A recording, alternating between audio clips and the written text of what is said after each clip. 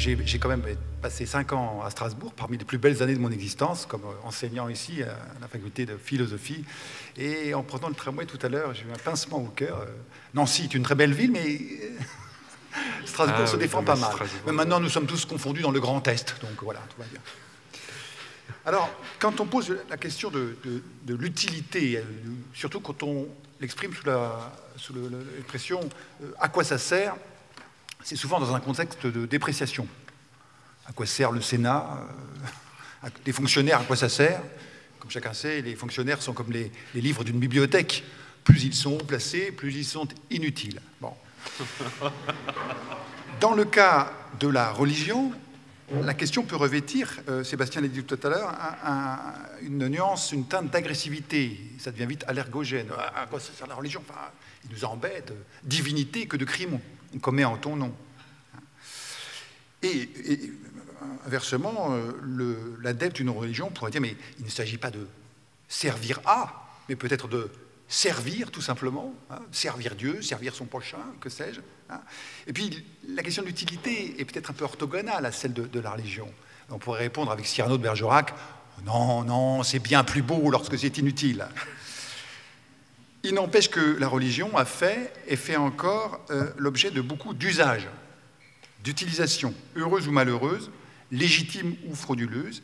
Et dans le cadre de cette intervention, moi je voudrais essayer de proposer un critère minimal un petit critère rationnel, c'est le philosophe qui se réveille, qui permette de désinstrumentaliser euh, la religion. Alors, évidemment, euh, la religion, il y a une question de périmètre. La religion, on peut dire, mais ça n'existe pas. Il y a des religions, et encore, il y a peut-être des croyances religieuses, des intuitions religieuses. Comment euh, les ordonner? Est-ce qu'on va partir du, casting? Alors, des esprits, l'esprit de l'eau, l'esprit de, la, rivière, l'esprit de la forêt, des divinités. Hein? Euh, mais il y a aussi des religions sans Dieu, le jainisme, le bouddhisme. Alors on va s'intéresser peut-être au mode de transmission, y a les, relations, les religions à, mystère, dans lesquelles une initiation est demandée, des religions dans lesquelles la révélation est publique, mais il existe également des types de religions naturelles qui, ne se prévalent pas d'une révélation, d'autres se contente de l'expérience mystique, donc c'est bien difficile de trouver une unité à ce terme. Alors, il arrive aux philosophes qui s'intéressent à la sociologie des religions d'être euh, alertés par euh, un problème de définition qu'a bien résumé Camille Tarot dans sa, somme magnifique, je trouve, le, le, symbolique et le sacré, en disant qu'il y a au moins deux entrées, deux portes d'entrée pour euh, euh, définir le fait religieux.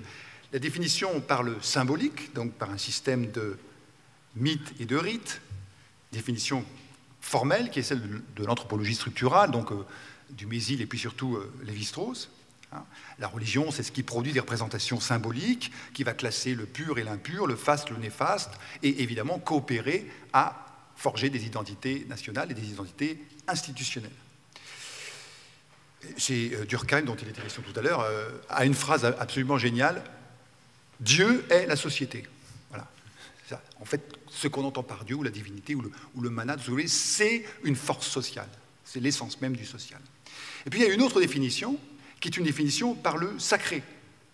C'est Rudolf Otto qui, l'a remise au goût du jour, et René Girard, bien sûr, dans la religion, d'accord, il y a des institutions, il y a des récits, mais il y a un événement euh, très profond, anthropologique, ce contact alors avec la mort, avec l'invisible, avec le, sacrifice, avec le, désir d'appropriation meurtrière, voilà, le sacré, le tremendum et fascinans, das Heilige, comme dit, comme Rudolf Otto. Alors, les deux ne sont pas incompatibles, enfin, selon qu'on s'intéresse au sacré ou à l'organisation sociale, on parle de choses qui peuvent être un petit peu euh, éloignées. Comme ça a été rappelé, euh, il y a beaucoup d'ères civilisationnelles dans lesquelles on ne distingue pas l'humain du divin et dans lesquelles justement le sacré et le symbolique sont parfaitement euh, unis. Puis on pourrait encore demander si au fond la notion de religion n'est pas un concept exclusivement romano-chrétien, hein, c'est euh, Camille Tarot qui pose la question, élaboré dans un contexte apologétique. Hein. il s'agissait pour euh, Lactance, entre autres, mais pour les, les, de la religion constantinienne, de dire oui, mais la religion, nous, on sait ce que c'est, les autres n'ont fait que des, n'ont été que superstitieux outre. Alors il y a justement une, une, guerre des étymologies sur le terme de religion, dont vous avez déjà entendu parler, euh, la guerre entre Cicéron, les Cicéroniens, et Lactance. Alors une guerre euh, qui s'étale sur plusieurs siècles, bien sûr, mais euh, c'est très intéressant de lire la définition que Cicéron donne de la religion. Il ne définit pas la religion, il définit les religiosi, les hommes religieux, le personnel. Et il dit ceci, ceux qui, récapitulent avec soin et qui colligent tout ce qui touche au culte des dieux, ceux-là sont appelés religiosi. Et ça vient de relegere, tout comme elegantes vient de eligere, et diligentes vient de diligere, intelligentes de intelligere. Tous ces mots ont en effet le même sens de legere que dans celui qu'on trouve dans religiosus. Alors l'idée est assez étonnante, et c'est bien un juriste qui pouvait dire ça. C'est comme les, les, arrêtistes, ceux qui, collectionnent les, arrêts de jurisprudence. Voilà, on note tout ce qui se passe autour des cultes, et puis voilà, on en fait une synthèse. On essaie au moins d'en faire une synthèse plus ou moins euh, syncritique. Mais surtout, c'est la diligence ici, hein, du diligere, qui, intéresse Cicéron, c'est l'attention de ne rien négliger, la conscience scrupuleuse à l'égard de ce qu'on doit faire, à la manière dont on doit se comporter, dont on doit respecter le calendrier des jours fastes et des jours néfastes, euh, ceux pendant lesquels tel collège de Flamine a le droit de se réunir ou pas, et le Sénat, etc. Donc la religion ici, c'est la relecture, la reliure. Et les religieux sont des relecteurs, des relieurs, des collecteurs de lois, de préceptes, de principes. Alors, Lactance, euh, quatre siècles après, euh, dira autre chose en disant non, non, non, la, religion, c'est pas ce que l'Empire romain a voulu nous faire croire, c'est-à-dire ce lien social. C'est avant tout une relation avec le sacré, en fait. Hein. C'est un lien de piété par lequel Dieu s'attache l'homme. Et le lie par la piété. Et le, verbe, qui dit ici lié, c'est constringere, c'est-à-dire vraiment, c'est euh, un ficelage, un phagocytage, mais qui est peut-être d'une autre manière une libération. Alors, ça c'est pour le problème de définir la religion. Et la religion, à quoi sert-elle? Est-ce qu'on va définir une institution, une activité par son utilité? Ben, On pourrait le faire de deux manières, selon une enquête empirique, celle dans laquelle mon collègue est évidemment bien plus, bien passé que moi. Hein. Il faudrait dire, à telle époque, dans telle région du monde, la religion, à quoi a-t-elle servi? Comment l'a-t-on employée Quel rôle a-t-elle joué? C'est l'enquête empirique qui décrit euh, euh, les, les diverses fonctions du personnel religieux ou des sentiments religieux ou de l'organisation des cultes, gérer les épreuves, les épidémies, euh, expliquer les maladies, préparer les récoltes, interpréter la foudre qui frappe un tel, trouver les boucs émissaires, légitimer dans certains cas l'exclusion, parfois la vengeance, voire la conquête, l'oppression, la persécution. Ça peut aussi donc servir d'exutoire nationaliste. Mais on aurait tort, à mon avis, de, de, de, voir uniquement euh, cet aspect, cette, ce côté obscur de la force, puisque euh, les religions, les pratiques religieuses peuvent aussi servir, et elles l'ont fait, à justifier, par exemple, l'égale dignité de tous les humains, ou le respect dû à la nature, ou le partage équitable des ressources. Après tout, la déclaration de Jefferson de 1776 hein, euh, affirme que les droits hein, euh, les hommes sont créés égaux. L'égalité n'est pas décidée contractuellement, elle est reconnue comme un fait métaphysique. C'est parce qu'ils doivent l'existence à un créateur qu'ils se doivent un respect inconditionnel. Bon, alors la réalité ensuite ne suit pas toujours, mais la, la métaphysique religieuse n'est pas forcément oppressive, répressive et castratrice. Les déclarations des droits de l'homme, hein, en présence et sous les auspices de l'être suprême, Hein, les droits naturels, inaliénables et sacrés de l'homme. Hein. le préambule de la, Constitution de 1848 dira carrément en présence de Dieu. C'est assez étonnant. Euh, relisons ces textes. Hein. Bien, donc, le fait que ces déclarations soient parfois restées des vœux pieux, voire des, paravents hypocrites, ne permet pas de dire que la religion se résume nécessairement à l'exploitation de la crédulité populaire, à laquelle on fait miroiter un salut en l'encourageant à supporter des maîtres iniques, hein, en espérant euh, une, autre vie comme euh, celle que le pauvre Lazare se voit octroyer après une existence pénible. Plus largement, je voudrais dire que l'instrumentalisation des religions en termes de haine nationale ou de discrimination morale ou sociale n'est pas une fatalité. Et là, je voudrais mentionner deux contre-exemples que je trouve très beaux, mais il y en a d'autres. Une opinion qu'on vous trouvez dans le Talmud rapporte que lorsque les Égyptiens sont engloutis par la mer Rouge, les anges de service, faisant du zèle, veulent proposer euh, à l'Éternel de lui offrir un chant de triomphe. Il n'y a pas de raison que les mortels se réjouissent et, chantent leurs cantiques, euh, cheval et cavalier, etc., mais, que le ciel reste impassible. Alors, ils vont vers l'Éternel, ils disent on va, on va vous chanter une super symphonie héroïque et triomphale. Et Dieu répond le monde sorti de mes mains est submergé, et vous voudriez me faire entendre un chant.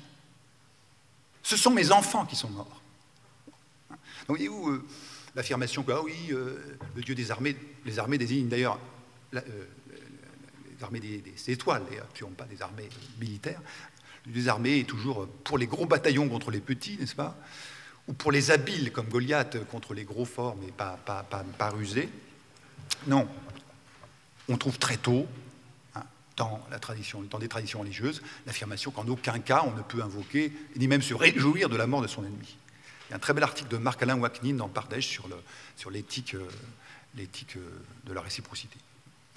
Alors, autre exemple, un certain Vincent de Paul se vit un jour reproché par une pieuse dame de la cour de venir au secours des enfants du péché, qui, selon euh, cette brave dame, aurait mérité de mourir. Et bien, M. Vincent a cette réponse que je trouve magnifique. Madame, lorsque Dieu réclame un meurtre pour un péché, il envoie son propre fils. Voyez-vous, les choses ne sont pas si simples. On ne va pas dire, ah oui, la religion, de toute façon, c'est du côté de l'oppression. Bon, cela dit, deux hirondelles ne font pas le printemps. Et je vais revenir dans le suite de cette euh, intervention sur deux usages, deux types d'utilisation ou d'instrumentalisation euh, de, la religion. Hein. Euh, tantôt la religion comme garde-fou moral pour les affaires courantes, hein, et tantôt la religion utilisée, grand moyen, pour les basses besognes. Donc je vais effectivement évoquer également l'usage répressif de la religion comme caution d'une injonction morale, hein, l'utilisation du motif religieux pour réprimer les penchants mauvais, et puis euh, l'usage oppressif de la religion, hein, pas simplement répressif, mais carrément agressif, qu'on lui, reproche. Alors la religion garde-fou, et chez Cicéron, vous trouvez également cette idée que bah, s'il n'y a plus de piété envers les dieux, la confiance et même la, sociabilité du genre humain, et même la vertu de justice, hein, euh, sont en péril. Autrement dit, il y aurait un rapport entre la relation au sacré et le bon déroulement symbolique des relations sociales. Alors, ce que les Romains appelaient la foi jurée ou la pietas, c'est évidemment la confiance dans le lien social, le respect de la parole donnée, mais Cicéron le justifie dans le traité des lois en disant mais c'est parce que nous avons la raison et nous formons une société avec les dieux.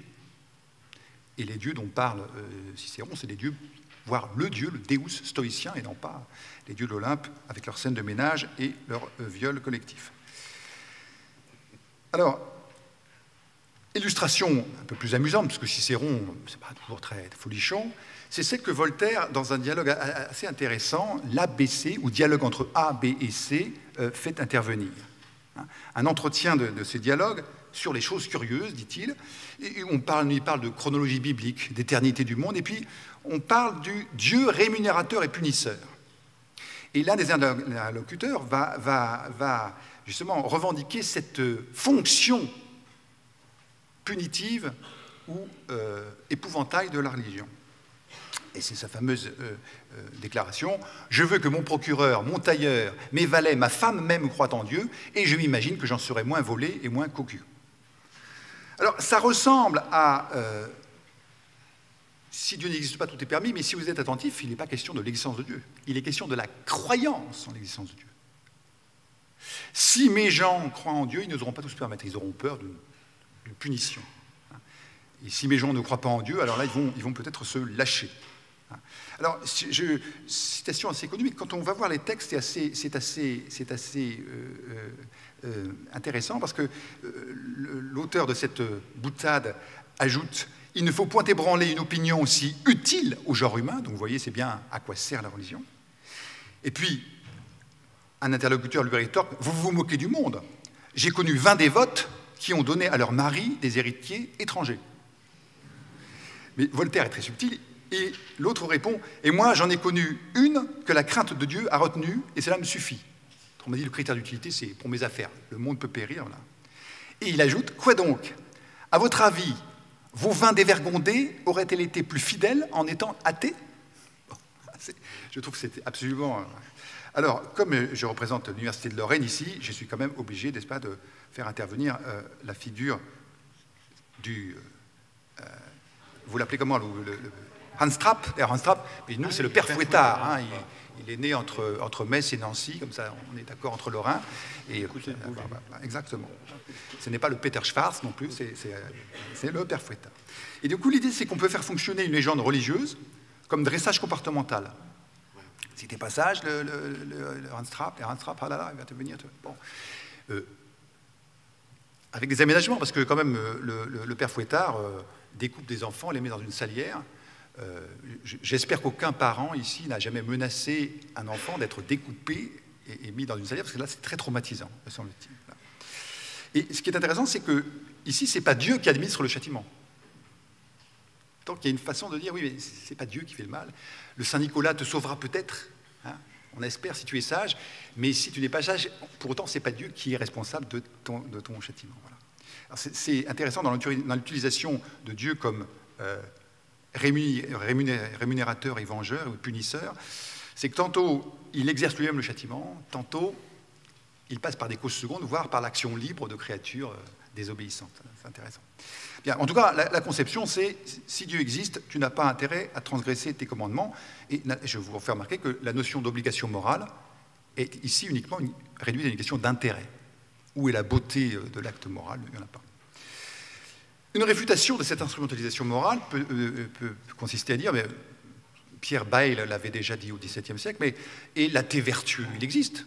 Heureusement que ne sont pas vertueux seuls les religieux, d'ailleurs l'expérience montre plutôt le contraire.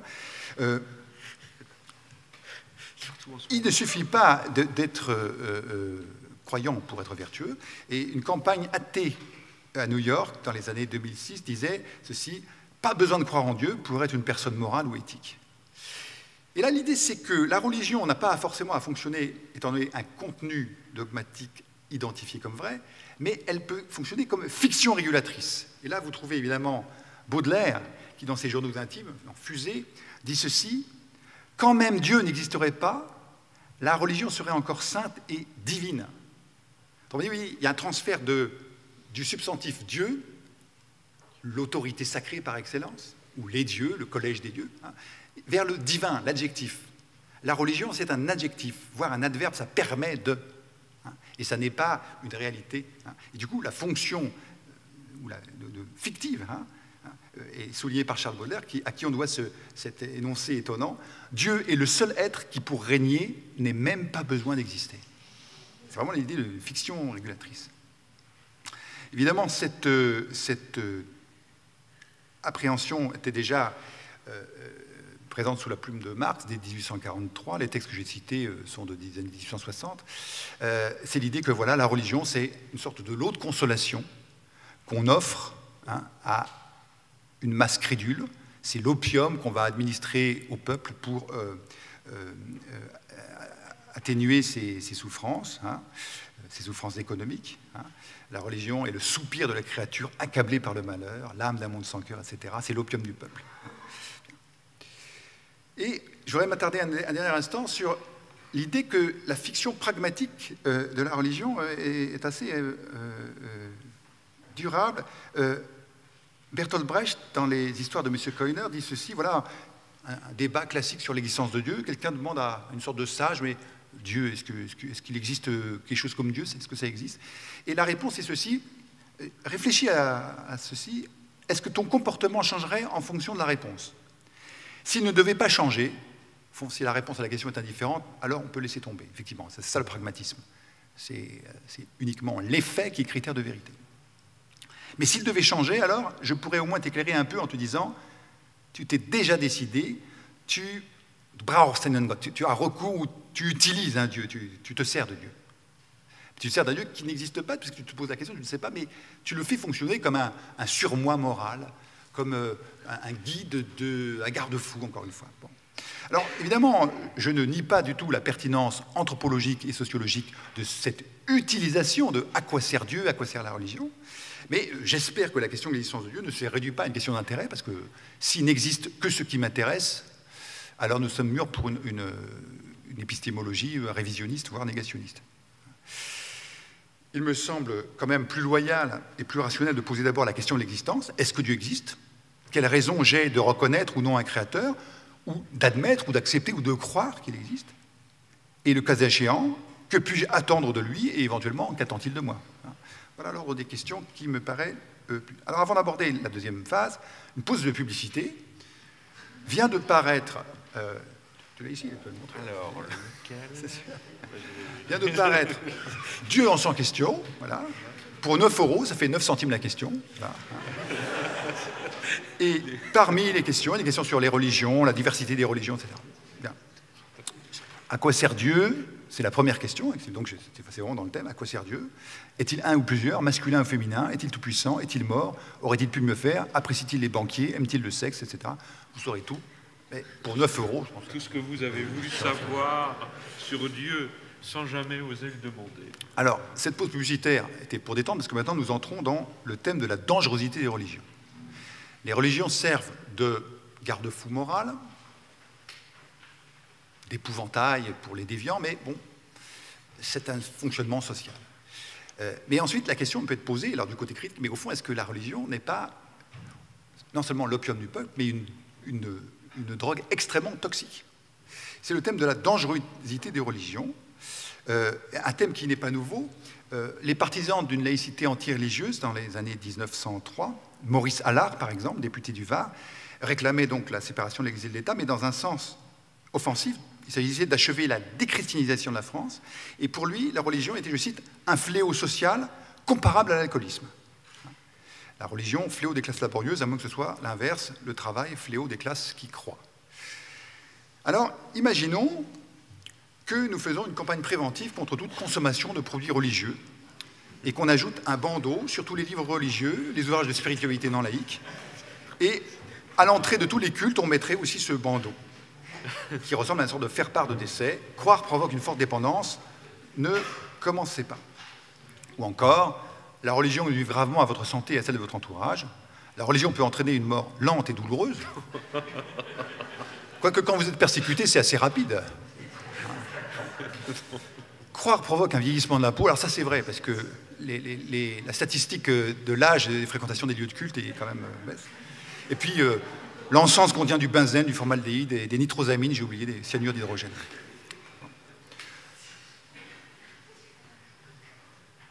Alors, euh, évidemment, alors, également, euh, plus pathétiquement, protéger les enfants, ne leur faites pas respirer l'air des sacristies, et je le dis sans, sans, sans méchanceté, mais enfin, bon. Bref, la religion tue. Et à l'appui de cette euh, imputation, il y a l'idée que dès qu'on a quitté la régulation sociale pour se confronter avec l'inspiration, le sacré, le, le fascinant, c'est le tremendum, on fricote avec l'absolu, avec le sacré, et du coup, le despotisme n'est pas loin, on se croit infaillible, on, risque l'inhumanité, puisque nous devons tout à Dieu et il peut tout nous demander. Et c'est justement ce genre de considération que je voudrais remettre en cause, sans faire d'angélisme. Je suis conscient que les comportements dogmatiques, despotiques, inhumains, abondent dans l'histoire des religions, mais à qui la faute? C'est vrai que la plupart des récits fondateurs des religions déroule sous les pieds de la divinité un tapis rouge de sang. Et sommes-nous obligés de les prendre au pied de la lettre? Les récits de bataille, les massacres des Amalécites, etc., dans le camp, euh, est-ce que nous sommes euh, devant les prendre pour des appels au meurtre?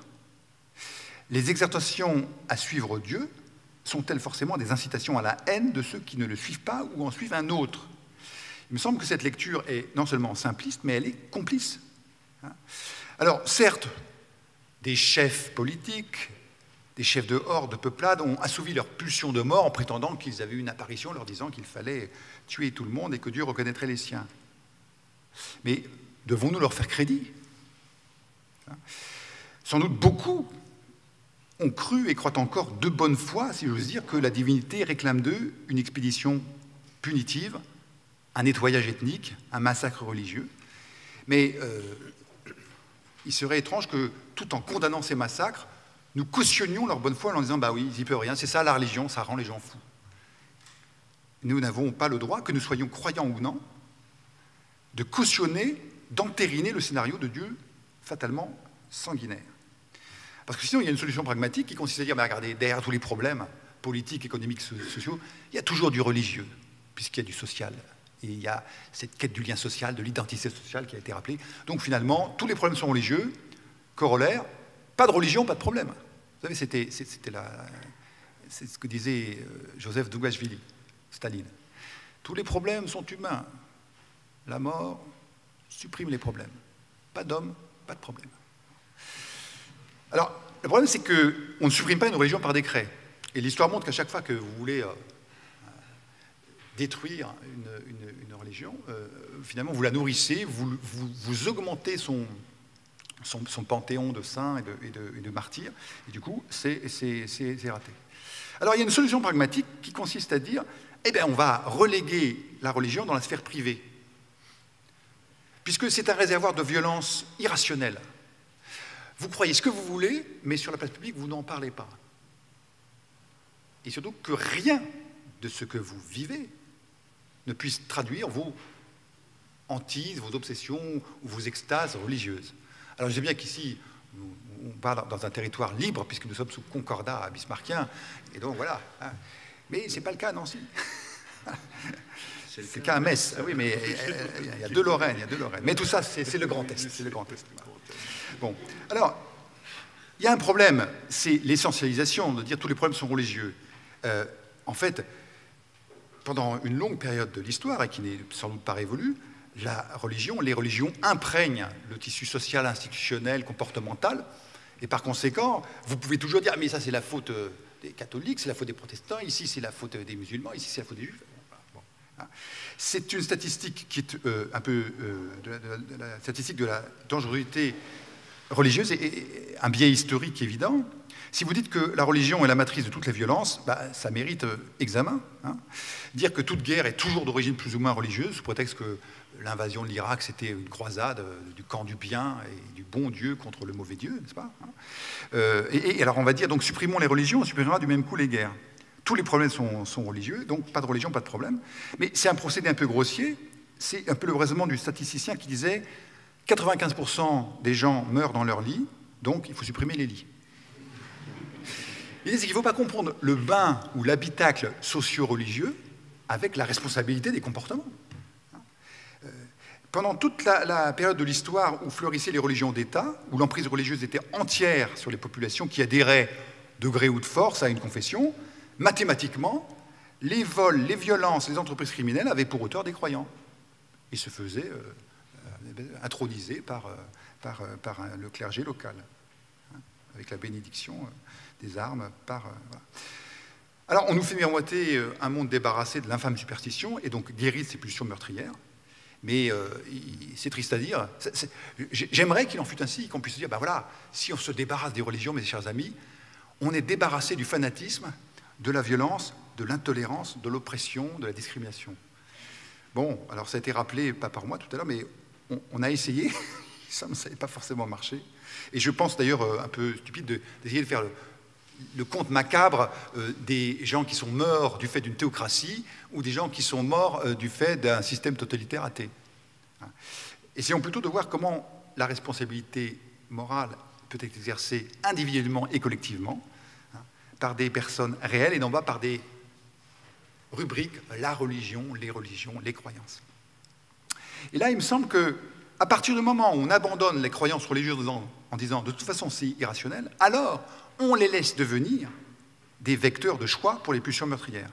Mais je rappelle que ce n'est pas la religion ni l'athéisme qui sont meurtrières, c'est l'assassin. Que l'assassin trouve dans sa cause religieuse ou dans la cause du peuple euh, libéré de, son opium de quoi motiver son appétit sanguinaire, c'est une chose.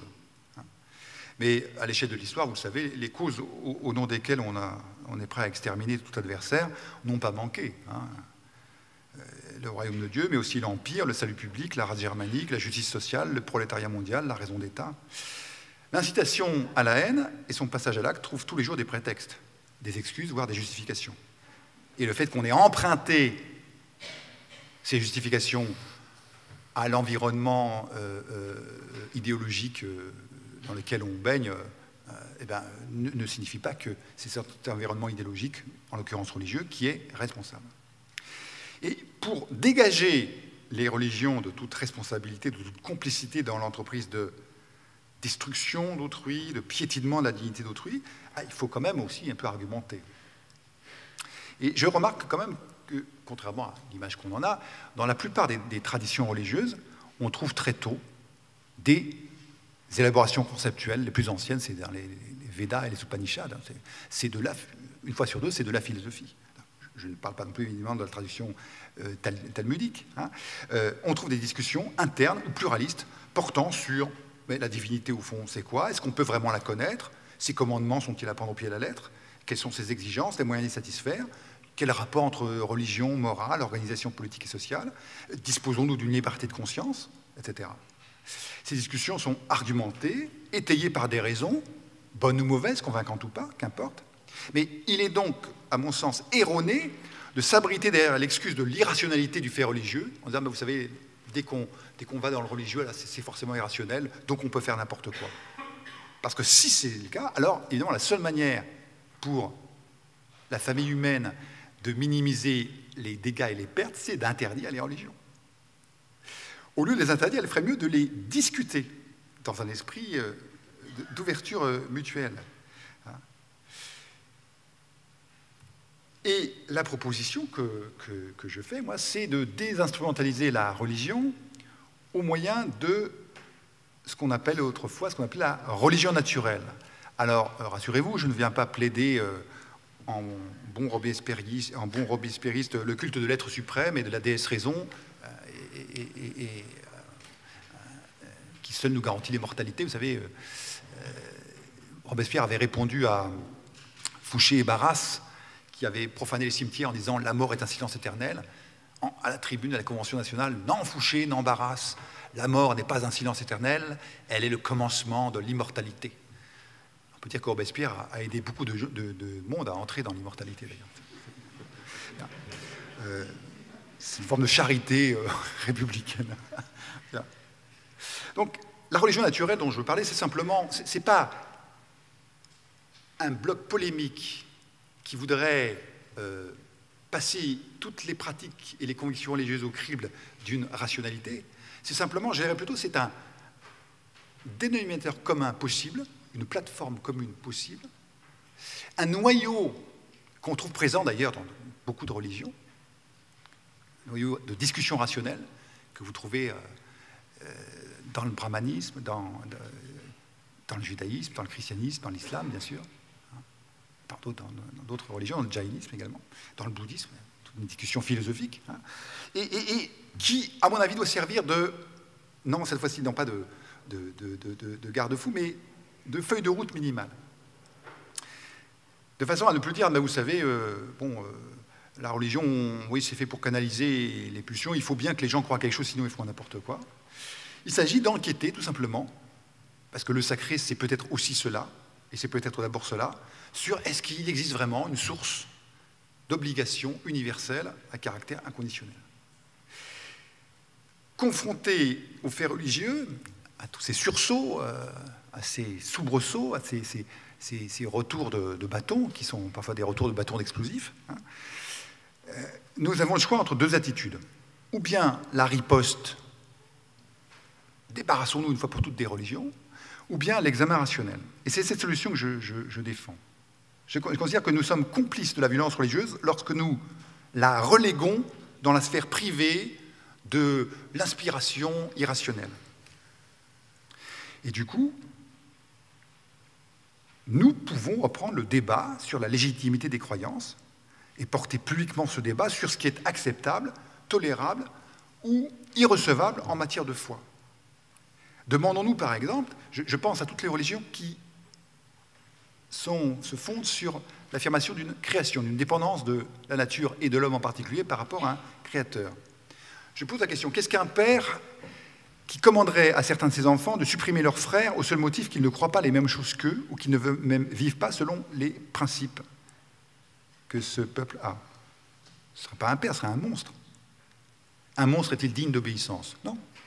Donc, on peut argumenter, et il me semble que le Talmud le faisait déjà, Dieu peut-il exiger la mort d'êtres humains? Ah, il y a des lois qui disent tu l'habiteras. Êtes-vous sûr que ce sont des lois divines? Je pense qu'il est absurde de croire un Dieu, en un Dieu qui s'accommode de l'élimination de ses créatures, voire l'ordonne. D'ailleurs, ce n'est pas en assassinant ceux qui ont manqué de respect euh, envers vous que vous allez euh, augmenter euh, votre notoriété. Quel est le Dieu qui pourrait se déclarer satisfait d'obtenir le respect d'un cadavre? Je sais bien que dans la tradition jésuite, on dit qu'il faut être obéissant comme un périndé à cadaver. J'espère que c'est une métaphore. Dieu, s'il existe, peut-il exiger le sacrifice de la responsabilité et de la raison qu'il a, par hypothèse, donné aux êtres humains? Oui, ça c'est la question cicéronienne. Un soi-disant Dieu qui dirait tue, TUE, hein, détruit, chaque être humain doit répondre, quelle que soit la pression qu'il fait l'objet, non. Au prétendu créateur qui dirait détruit, chacun, chacune a le devoir de rétorquer Tu n'es pas celui qui nous a créés libres et au bon endroit. Tu n'es donc pas digne d'obéissance et de respect. Au supposé Père éternel qui dirait Supprime tes frères, il faut objecter Alors pourquoi me les as-tu donnés? Tu n'as qu'à faire le sale boulot toi-même. Là, je pense que sur ce chapitre, nous avons tous à faire un examen de conscience, croyant ou non, ou agnostique, athée. Car quelle que soit notre position, nous pouvons parfois encourager l'idée que Ah oui, mais c'est Dieu, alors vous comprenez, euh, peut-être que le sacré, c'est ça. J'entends que si Dieu existe et ne nous a pas destinés à l'entre-destruction, mais au bien, il y a un certain nombre d'obligations qui nous incombent. Nous sommes obligés envers lui, avec obligeance et non pas avec terreur. Hein. Mais nous avons aussi des responsabilités, et celle d'y voir clair et de nous demander si véritablement nous avons des raisons d'affirmer que tel commandement de destruction est bien, ou s'il n'est pas le plaquage d'un intérêt euh, géopolitique à telle ou telle époque hein, sur une divinité nationale. Alors c'est vrai, euh, le dieu sanguinaire est présent dans les écritures bibliques, euh, coraniques, dans la Bhagavad Gita, où quand même Krishna ordonne au prince Arjuna de oui, tu peux tuer tous tes cousins, toute ta famille, tous tes frères, ce n'est pas un problème. Puisque seul euh, Brahma existe. Alors au fond, où est le problème? Mais sommes-nous obligés d'interpréter ces massacres au pied de la lettre? Non. Nul n'est tenu à une interprétation littérale d'un texte où Dieu est exalté pour avoir fracassé le crâne des nourrissons. Et en l'occurrence, c'est vraiment la lettre qui tue.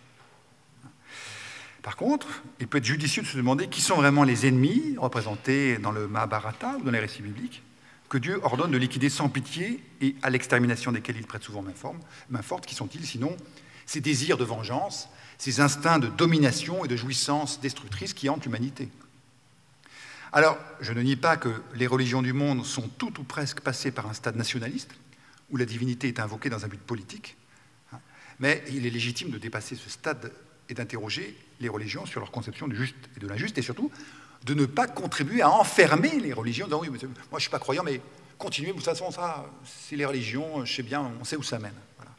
Croire-tu Et je voudrais faire remarquer qu'un auteur comme Pascal, que généralement on mobilise pour dire Ah oui, Pascal a bien montré que le cœur a ses raisons que la raison ne connaît pas, est aussi celui qui dit si on soumet tout à la raison, notre religion n'aura rien de mystérieux et de surnaturel. Mais si on choque les principes de la raison, notre religion sera absurde et ridicule. Et donc moi je plaide pour l'examen d'un noyau rationnel qui porte sur des questions importantes. Qu'est-ce que Dieu a le droit d'exiger de nous? Qu'est-ce qu'un Dieu, par hypothèse bon, a le droit d'exiger d'une créature? Pascal, d'une façon encore plus lapidaire, disait ceci, deux excès, exclure la raison n'admettre que la raison. Donc il ne s'agit pas de substituer à l'expérience religieuse du sacré ou à la liturgie, au culte, de substituer une religion de la déesse raison ou un culte de l'être suprême dépourvu d'histoire et d'entrailles, mais de vérifier si, sous la proposition religieuse, il y a quelque chose qui est conforme ou non à la vocation de l'être humain. L'idée, c'est de dire, mais d'après l'inspiration religieuse elle-même, il doit être possible de corriger l'instrumentalisation qui fait que lorsque Dieu est de mon côté, je peux me permettre n'importe quoi. Et donc l'idée, c'est de retrouver cette cohérence, et je laisse le, dernier mot à Diderot. Euh, l'idée, c'est que l'exercice de la raison naturelle n'est pas une option, c'est une exigence de cohérence, y compris, et peut-être d'abord pour le croyant, cette exigence d'exercice de, la raison naturelle met la foi à l'abri du fanatisme et elle met aussi l'athéisme à l'abri de l'arrogance. Et donc je termine avec cette euh, belle citation de Diderot, que vous, reconnaîtrez, il, s'est glissé parmi les personnages là, de, petit jeu de, quiz. Vous voyez, Diderot, c'est sous le une de une main en bas. Ah Un anachronisme savant. Lorsque Dieu, de qui nous tenons la raison, en exige le sacrifice, c'est un faiseur de tours de gypsière qui escamote d'une main ce qu'il a donné de l'autre. Je vous remercie. Très bien. Merci beaucoup.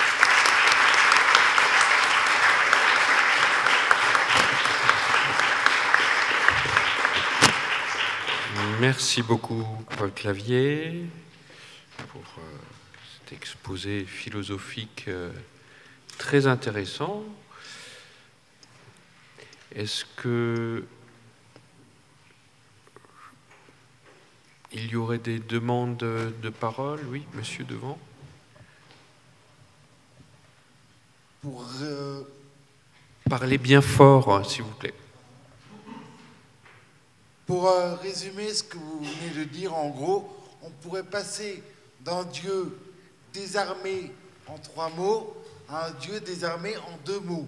Ce que préconisait euh, dans un livre il y a quelques années Jean-Marie Muller, le président du mouvement pour une alternative non violente.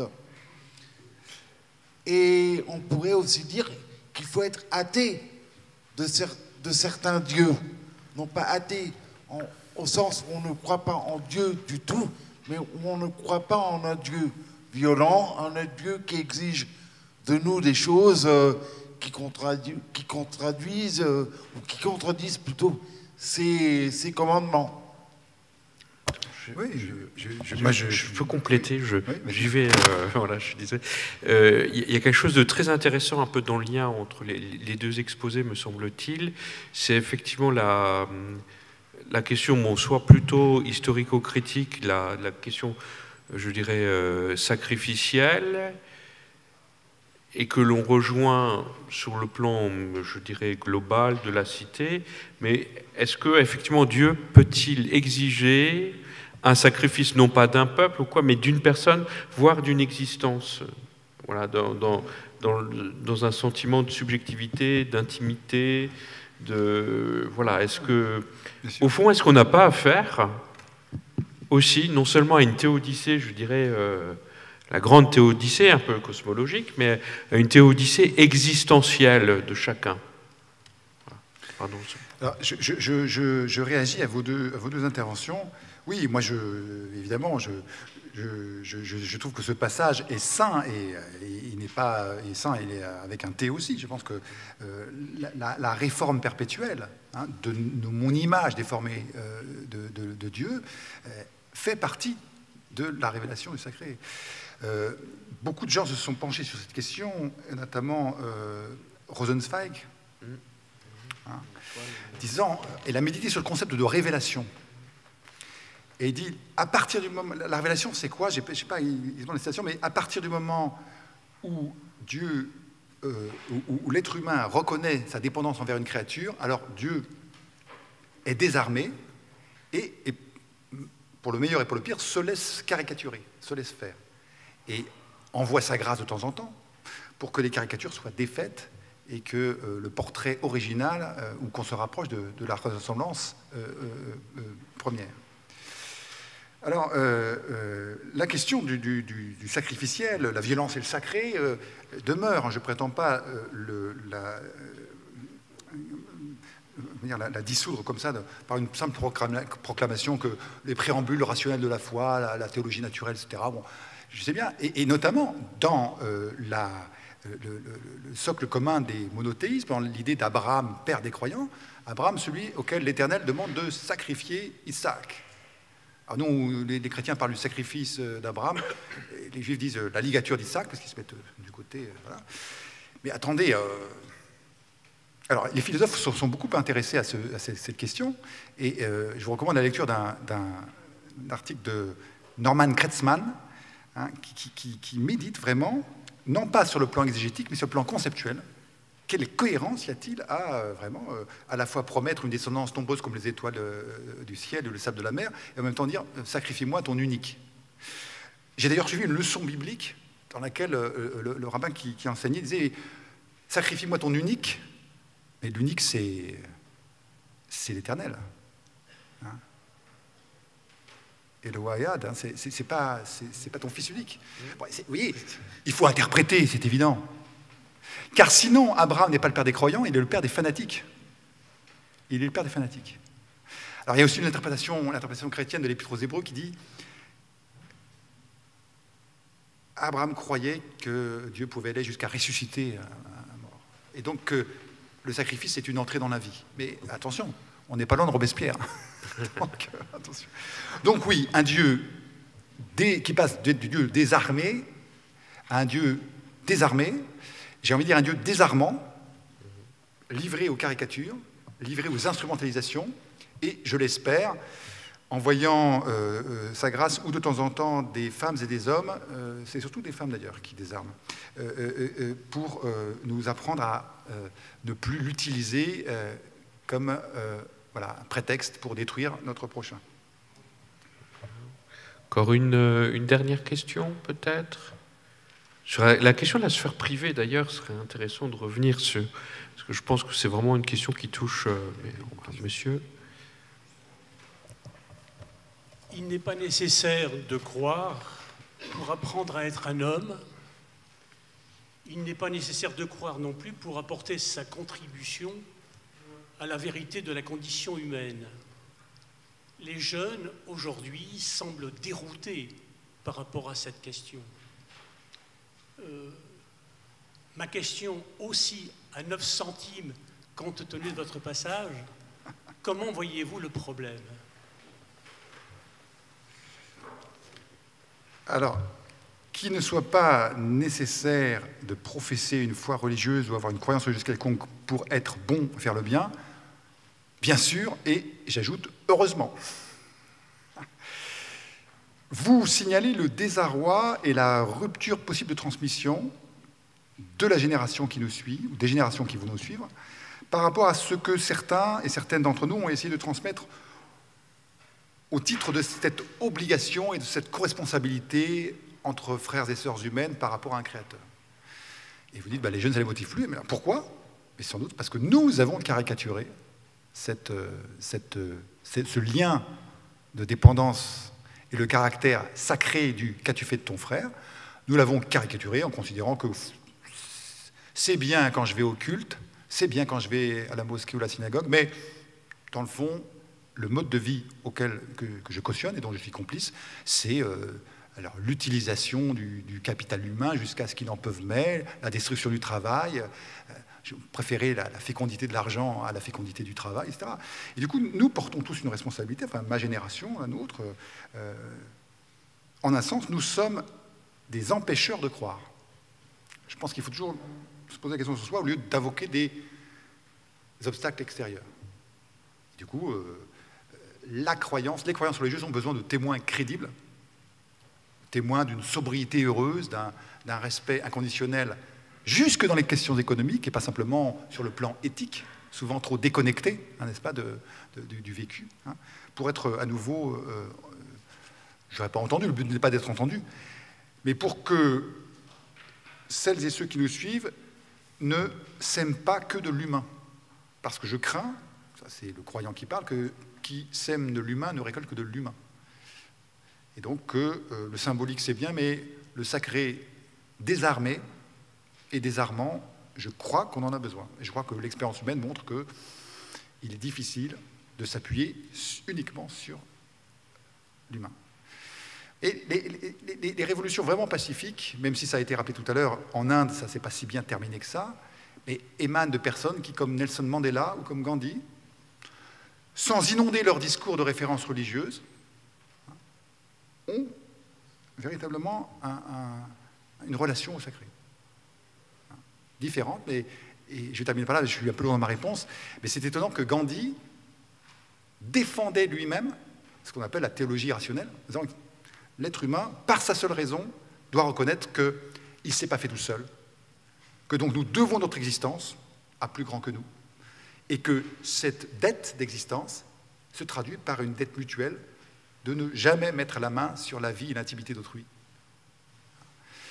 Et ça, cette, euh, inspiration, à mon avis, euh, philosophico-religieuse, euh, mérite d'être transmise, mais pas de force.